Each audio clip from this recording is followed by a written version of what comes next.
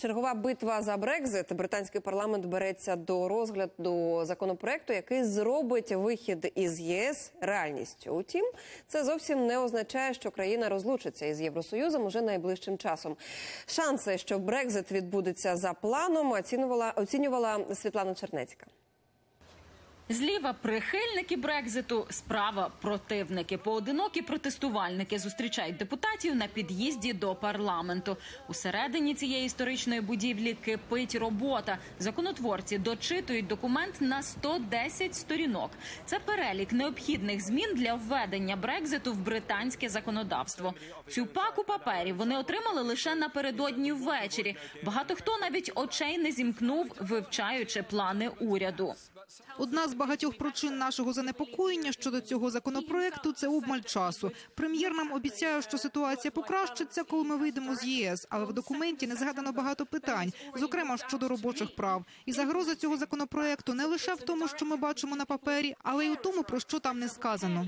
Уряд депутатів квапить на обговорення, внесення поправок та голосування відвели лише три дні, адже досі сподіваються вивести країну з ЄС в останній день жовтня. Найкращий шлях уникнути шкоди від жорсткого Брекзиту проголосувати за даний законопроект.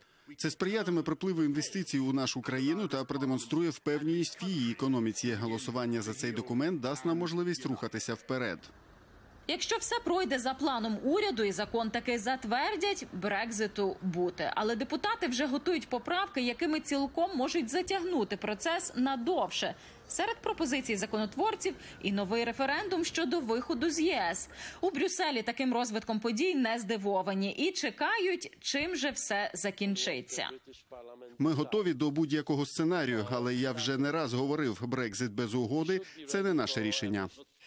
По правді мені боляче від того, що я стільки часу присвятив Брекзиту, тоді як міг працювати над тим, щоб зробити цей союз кращим для його громадян. Яке марнування часу та власних сил?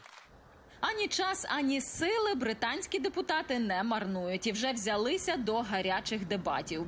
Без більшості прем'єрові буде геть непросто отримати схвалення парламенту, і цілком ймовірно, що Лондону доведеться відкласти вихід із ЄС щонайменше до кінця року.